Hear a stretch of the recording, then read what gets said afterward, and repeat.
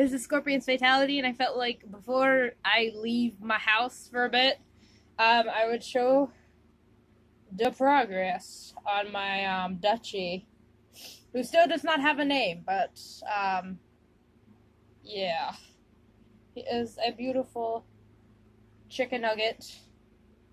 And um, yeah, I know the jaw is weird, but the thing is, I I have like three, three, three whole glue sticks left, so excuse me.